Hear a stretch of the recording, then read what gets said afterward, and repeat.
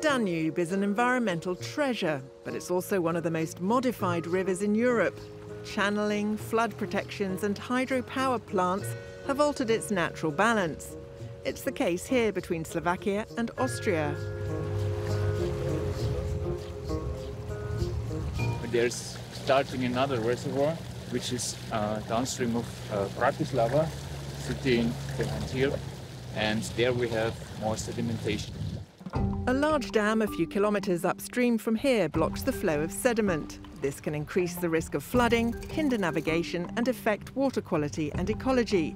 These researchers are measuring the behaviour of the river, looking at any imbalance between the sediment and the flow when there is an imbalance and there is a more sediments and, and less, less power, so there is a sedimentation, and vice versa, when we have a less sediments and more water, then is uh, erosion. So uh, all this problem and understanding of this problem can lead us to the effective uh, uh measures to improve the situation. The DREAM project aims to promote knowledge sharing for improved sediment management on the Austrian Slovak border.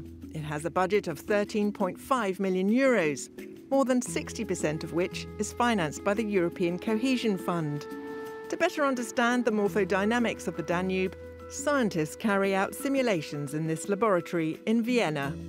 They've created computer based models to enable authorities and companies to make better decisions but they're facing a size problem.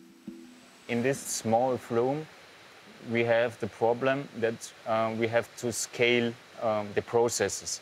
And we can scale widths of rivers and, and depths on, but when we want to scale the sediments, we, we came into problems. So the less scaling we have, the better it is.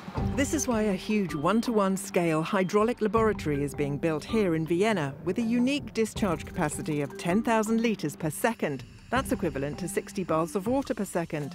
The improved research opportunities will allow promotion of innovative measures for sustainable river management.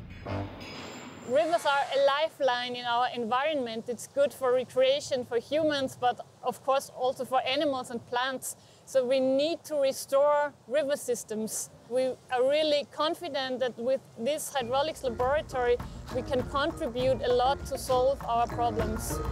Scientists hope their research will help restore the sediment balance in many rivers around the world.